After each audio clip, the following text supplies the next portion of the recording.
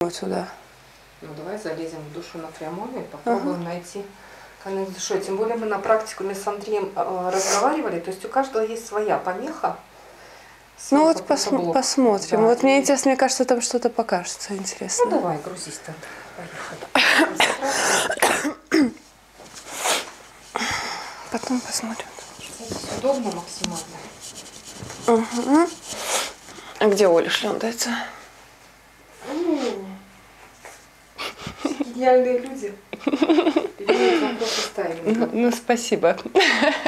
Я всегда вовремя прихожу. Вдох, выдох. Ножки, расконцентрация. По стопам, голени, бедра, животик, грудная клетка. Вдох-выдох и проваливаешься глубже и дальше. Кисти рук до локтя, до плеча, шея, лицо. Каждая клеточка, челюсть расслабляется. Хочет отвиснуть, язык в небо. Вдох-выдох и проваливаешься еще глубже и дальше. Состояние великолепное. А теперь просто почувствуй, как ты летишь спиной вниз. Фух, полет. И ты оказываешься в том состоянии, где ты можешь брать информацию.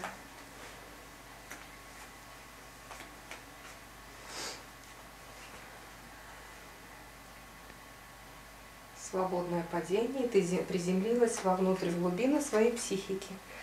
И в этих глубинах у тебя есть доступ к любой информации. Внимание на гипофиз центре головы. И задай,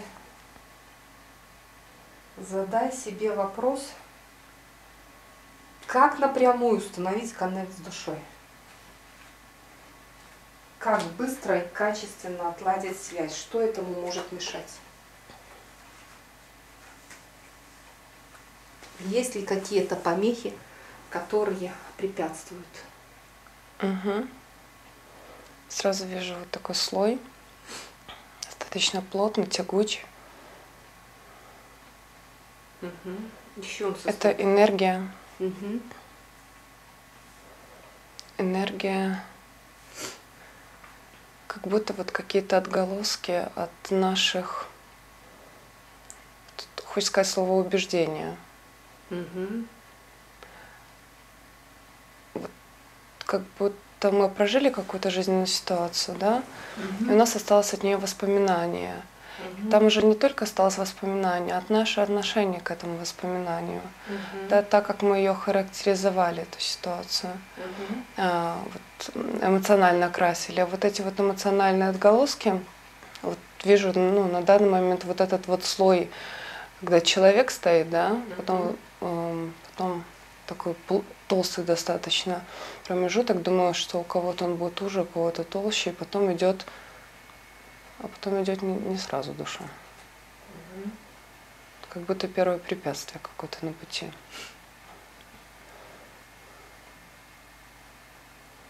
То есть это ресурсные травмы, по сути дела, со сформированными убеждениями. Мы через них идем. Вот этот тягучий слой. Он из прошлого нас преследует как кармическое наследие. Сейчас. Вот хочется сказать и да, и нет. Мгм. Это травматика, это этой жизни, но не Мгм. прошлое. Мгм. Это уже с- сформированное убеждение и опыт этой жизни. Мгм. Такое чувство, что для души прошлое не столь важно в, вот, э, в плане вот коннекта установленного. То есть есть момент здесь и Мгм. сейчас, и душа готова установить вот этот вот коннект, да. И для нее не важны отголоски прошлой жизни, но уже важны отголоски этой жизни, потому что а, этот занавес устанавливает человек, а он устанавливает этот занавес в соответствии с убеждениями этой жизни, а не прошлых. Мгм.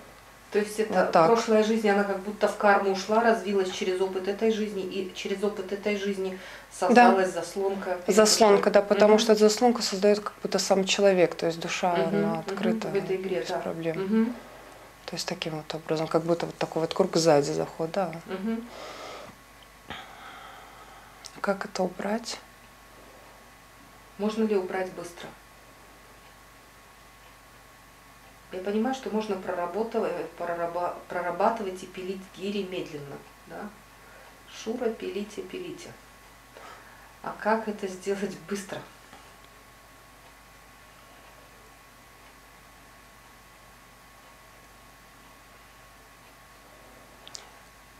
Хочется озвучить, что это сделать можно, но это сделать нелегко Угу.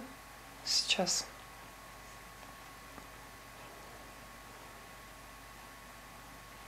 Давай самое простое. Вот ты сейчас видишь этот слой, можешь ли ты с ним что-то сделать оптом? Вот у себя.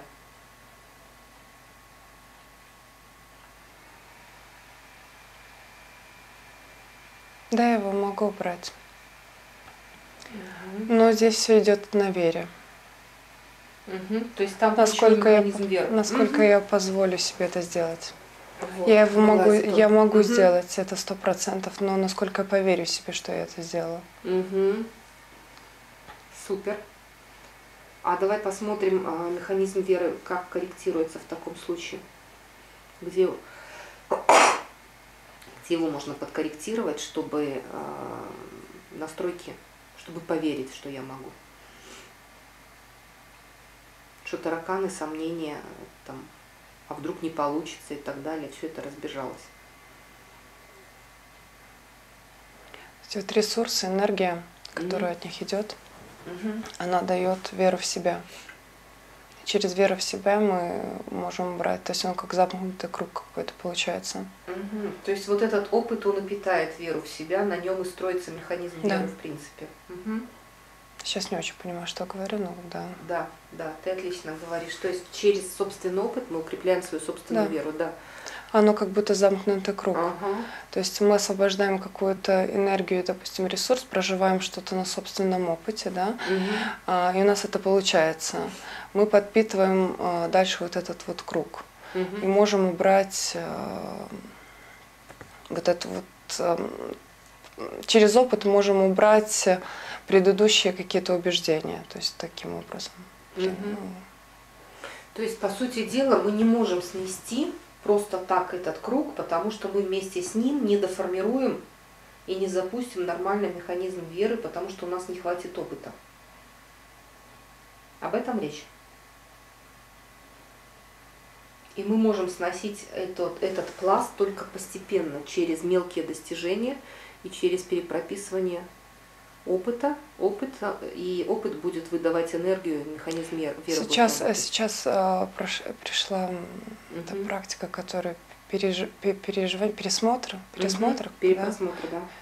Перес- просмотр можно еще не, не, с- не столько через повторять опыт, да, если был какой-то негативный в, прошло, э, в, прошлом, в прошлом, Мгм. а можно через перепросмотр, перепроживание, оно мне вот в таком виде пришло Мгм. слово, именно не перепросмотр, а перепроживание. Через изъятие сознания, да. Да. Мгм. таким образом а, менять, трансформировать э, э, свой прошлый жизненный опыт и его что-то новое, которое поможет нам снести вот этот вот Мгм. слой толстый, который из убеждений. То есть, когда ты пересматриваешь свои убеждения, да, оно автоматически снимается. Мне, блин, ну мне-то интересно залезть туда как-то прям напрямую, без этого всего. Мгм. Как будто туннель хочется сделать какой-то. Нужно ли сделать комфортный узкий тоннель? Можно. Что для этого? Можно. А, взять какую-то сферу жизни А, и направить туда внимание, вот, скажем, то, это как будто точечно перепрограммировать вот этот вот участок один. То есть убеждения э, не по всей жизни, да, э, пере- перепроживать, перепросматривать, перезаписывать, а, допустим, определенная сфера. Это вот, например, отношения, да, отношения, не знаю, с матерью. Мгм. Да, вот был какой-то зацеп раньше, сложилось плохое, перепросмотрел вот этот вот ам, как бы точечно, да, опыт, Мгм. и пошел через него потом в душу. Но там нужно глубинно пере... э, м, блин, слова тяжело подбирать.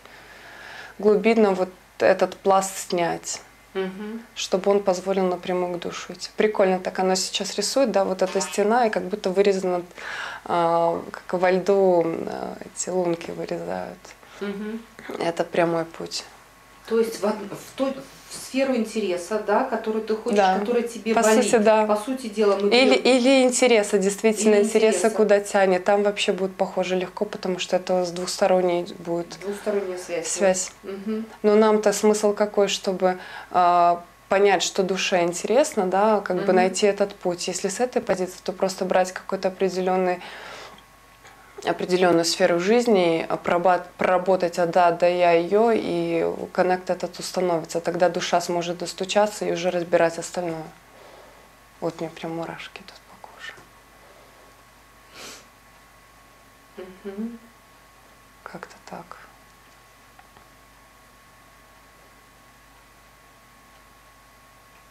То есть, по сути дела, если мы, грубо говоря, берем человека, который не слышит свою душу, и у него сейчас есть либо интерес там очень глубинно изучить там какие-то психические свои особенности, изменить свою жизнь, либо ему больно так, что его просто штырит по какому-то параметру. Мы берем этот параметр в проработку, глубинную проработку, просто выпотрашиваем его наизнанку, то у нас есть шанс выйти сразу на душу. Да. А все остальное тогда, когда потрашивать, он сам потом по мере будет Да. расширять эту Да. стеночку у себя, Да, оно вот прям вот так вот растет. Мгм. А жизнь будет подкидывать а, опыт через жизненный опыт, либо же он самостоятельно будет прорабатывать это Изымается целенаправленно. Мгм. Мгм. То здесь, э, но оно уже будет расширяться. Есть просто а, цель вот была найти вот этот проход к душе. Оно поможет сто процентов. Таким образом можно сделать. Но это должна быть действительно глубинная проработка. Ага. То есть если брать не через интерес, а если брать какую-то определенную сферу жизни, где особенно болит, да, Мгм. когда уже когда там накал, там нужно очень глубоко копать, э, чтобы докопаться до души. Ну, видишь, оно и получается в жизни по опыту самые лучшие результаты у тех, у кого реально вхерячила боль, так что хоть Мгм. на стенку лезь. Либо же им действительно настолько прикольно и интересно, вот как Андрею было, да, что он просто на месте не мог усидеть от того, что перло, ему было это интересно. Ну, вот два варианта, когда а третьего как-то я и не встречала, либо то, либо то. А когда приходит, а, а бы попробовать, ну ни хрена потом не получается. Плавают, плавают по поверхности. Да, потому что сейчас идет как будто боль еще такая неглубокая, потому что все равно в основном приходит сюда через боль, так или иначе. Она не сильная еще. Нет готовности ее Нет, проработать, да? да, да. Хочется, чтобы Нету, себя нету кто-то сделал. стимула. Да. Тогда хочется измените меня, помогите, а, что-нибудь сделайте за меня, да, и потом человеку говоришь, слышишь, сходи поработай, он кругами бегает, пока там в ДТП не попадет, на больничку не, в больничку не уляжется, а потом уже с больнички, ой, меня так накрыло.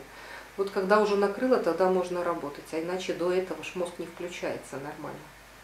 Кстати, а почему так происходит с людьми? Осознанность нулевая. Ходилка-стрелялка с одной э, программой э, включения в саморазвитие только через боль. Нету программ драйверов, вообще нету драйверов на осознанность. Вот сколько смотрю людей, драйвера на осознанность, либо это опыт души уже большой, то есть это старая душа. То есть у нее уже были опыты включения осознанности в каких-то инкарнациях, и тогда у нее они срабатывают, они сохраняются. Ты говоришь, неё- там еще что-то есть. Ты чувствую прям такую вот Посмотри, что энергию. еще, потому что вот я два варианта встречала, либо старые души, либо этот вот, ну, либо через боль. Основная масса через боль. Вот в боли там есть затык какой-то. Сейчас. Драйвера на осознанность это те, у кого уже души старые, которые уже много раз инкарнировали и вообще уже подходят к концу игры, чтобы выскочить на другой матричный уровень. Вот там да, там там тогда человек быстро начинает развиваться. Сам.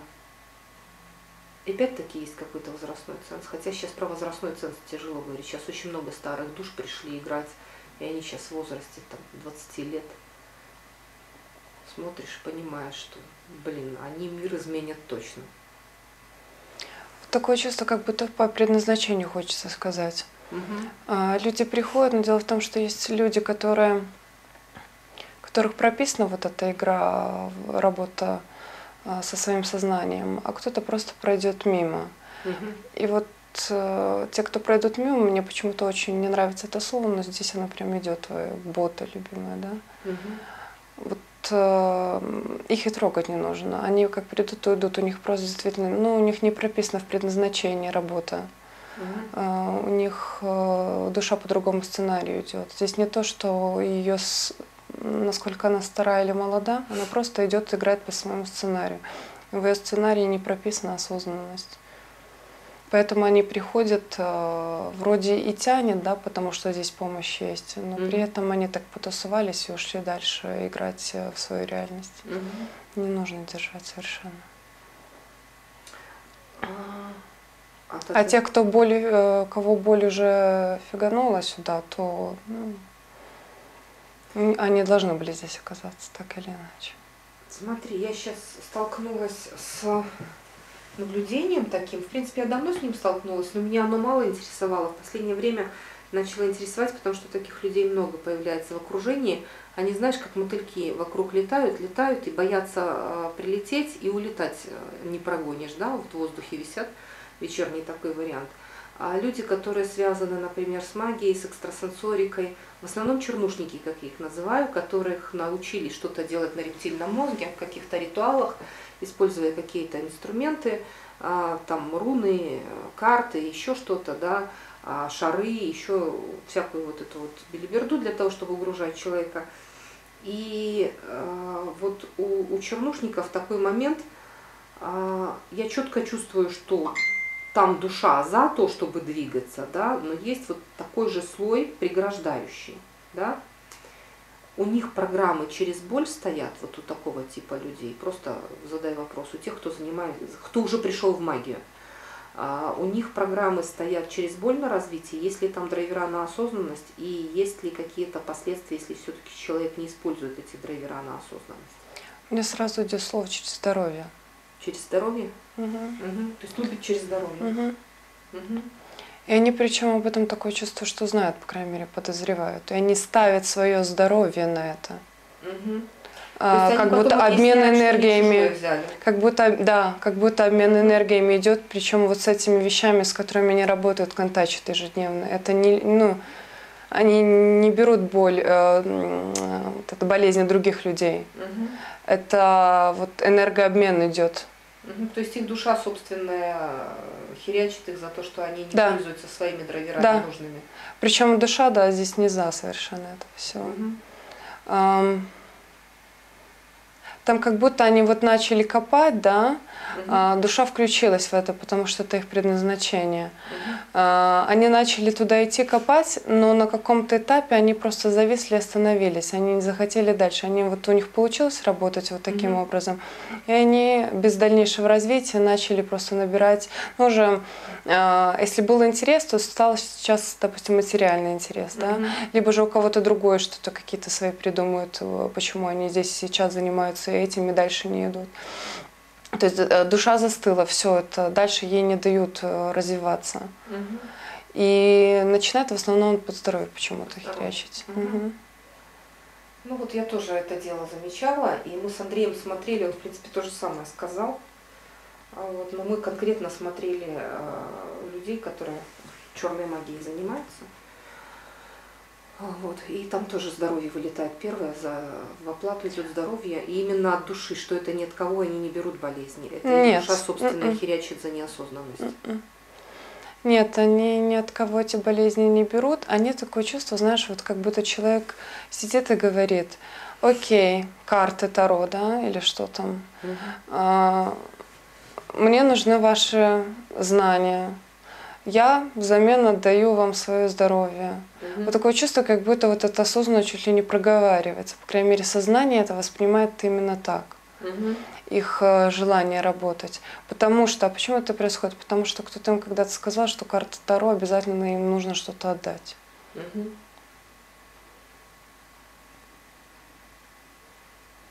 А на самом деле они могут быть субъектом твоей реальности, и тогда выглядеть они будут по-другому и будут работать по-другому.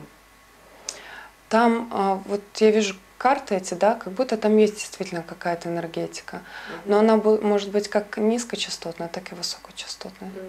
Когда высокочастотная, тебе ничего не нужно взамен отдавать. У вас просто идет, ты даешь ей, высо- ну вы как будто на одном пласте реальности находится, вы, вы как единое целое становитесь. Вам не нужно, да, да, там вам не нужно чего-то друг, э, друг другу. Я тебя одно, ты мне второе, да.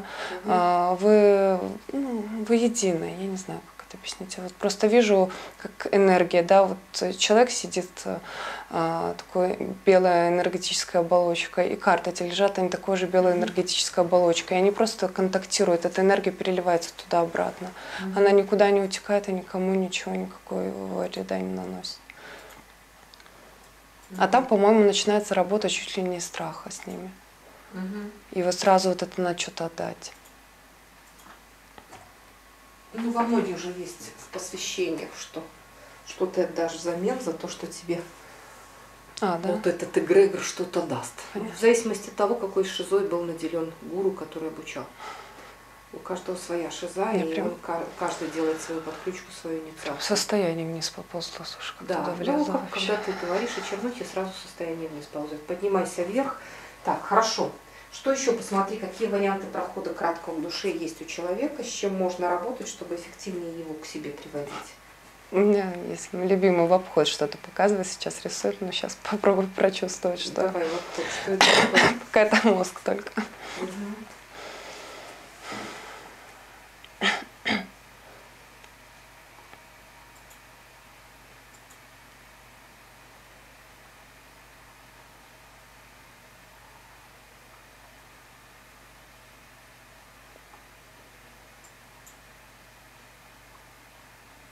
Через чувствование. То хочется сказать в этом случае, как будто это уже, извините, душа к вам постучалась в дверьку.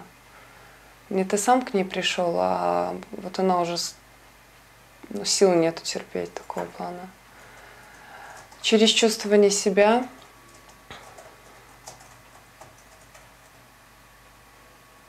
как будто нужно все отбросить то, что пришло извне, из социума. От А до Я. Но опять же, это какие-то техники нужно использовать. А, Когда ты очищаешься, вот как будто капуста, да, пласт э, лист за листочком, ты очищаешься от, а, от всего напускного, того, что не есть ты, ты начинаешь чувствовать душу, потому что, чтобы тебе снять что-то напускное, тебе нужно понять, кто ты есть. Мгм. Но это вот почему-то показывает в том случае, когда, наверное, душа уже на путь боли поставила человека, а он опомнился что-то вот в таком плане. Или только этот путь начался, и человек опомнился и начал работать над собой. Понял, что здесь что-то не так. Но этот Мгм. путь, я не скажу, что он короткий. Он тоже не короткий. Мгм. Но это просто один из путей еще. Мгм. Показывает просто, как будто душа обнимает э, вот человека, который вот оголенный. Мгм. Когда он понял, вот, когда снял с себя все, что не есть он, Мгм. они, у них получается коннект такой. То есть, по сути дела, это вот тот стандарт, по которому мы идем, когда мы начинаем проработку человека, да, по чувствам, углубление сперва с ощущений, потом в чувства, потом а, Понимаешь, здесь- все эти и вовнутрь. Здесь вот цель а, понять, а, что не мое. Мгм. Тут какую-то технику можно, по сути, придумать, которая будет освобождать себя от чего-то напускного. Ну, к искренности надо прийти. К искренности, Душа искренность, да. да. Искренность по отношению к самому себе. Да. Здесь чувствование, эм, здесь как-то можно отрабатывать по-другому, не, не обязательно грузясь в себя. Мгм. Но просто человек всегда должен быть в себе, чтобы он отлавливал чувства. Вот чувствование это сто процентов, без этого никуда. А практика зеркала. Практика зеркала это когда тебе уже просто головой в стену, такое чувство. Там уже И твои головы твои, да, да, да. Вот это вот называется, вот просто рисует, показывает картинку, это практика зеркала. Это не самый лучший вариант, но в плане не самый простой вариант и лояльный, скажем так, вариант. Да, прикольно так, картинки. Вот как-то так. А какую практику еще можно для того, чтобы ну, к искренности прийти? Дом тоже, это тоже все равно это Задавать, се- вокруг. задавать себе вопросы. Насколько я здесь искренне сама с собой? А, Не совсем. Мгм. Вот что касается нравится, что касается интереса. Вот посмотреть, да, встать в комнату, подойти, Мгм. допустим, к стеллажу, открыть там стеллаж вот с книгами, да, Мгм. которые ты, например, самостоятельно там покупала. А, Или даже просто там, к стеллажу и посмотреть, э, вот почувствовать этот стеллаж, Мгм. насколько он тебе близок, либо же ты его купила, потому что он был дешевый, потому что он подходил под твою общую комнату, потому что, потому что, потому что. То есть а, вот на таких вот жизненных мелочах, да, то, что нас окружает, смотреть, а, что есть ты из этого, а что нет. А что это навязано, потому что это выгодно было продавцу, который тебе эту мебель продавал, впаривал, грубо говоря, да? Все понимаю, о чем ты говоришь. Вот эти моменты зависания, когда ты смотришь на вещь, и она действительно цепляет тебя Да, изнутри, вот, да. вот она моя. Да, И потом- Чувствование Да, да. чувствование. И тогда получается, если ты себе отказал, ты эту часть разорвал с душой. Если ты э, согласился, и все, и ты тебя вот это все. да, сейчас ты, мурашки. да, прям. ты смотришь. Все, я поняла, о чем ты говоришь. Вот. А оно действительно есть моменты, когда э, вот э, смотришь, вот как я на свою машину смотрю до сих пор, и я, я просто млею от нее реально. Мне муж говорит, я не знаю, чего ты млеешь, а я млею от ее формы, от ее сидения, от ее всего. Есть такое дело, поэтому она у меня заводится, а у него не заводится. А у меня ни разу сбоя не давала. Вот, поэтому есть, есть, есть такое, понимаю. Кстати, на какое-то время еще будет твои. Да, Еще будет. я перед отъездом. Полгода, год Да, будет. полгода где-то. Я ее продам потом и все. А новую возьму потом. И она будет хорошо работать. Всё верно. Ну, я знаю, она же технически в очень хорошем состоянии, но, но просто перед отъездом имеет И причем ты потом отдашь э, той женщине, похоже, кто тоже будет так же кайфовать от нее. Она как будто из хороших рук в хорошие руки перейдет. Она такой вот привязка, это останется. Ага. А у меня к машинам, я к машинам отношусь как к людям. То есть я с машинами много работала, и я с ними разговариваю, они меня слушают, они вот по максимальному, вот, э, когда мне надо, и в мороз, и что угодно. Э, Ну, я говорю, Бишкива Коленвала, по Коленвалу два дня ездила и ничего. Поэтому у меня машины, я их люблю как людей, они меня любят за это. Вот. Привет с прошлого. Ага. Привет из прошлого, из ресурсной травмы привет такой, уже уложившийся, ушедший. Хорошо, давай сейчас от темы души отойдем.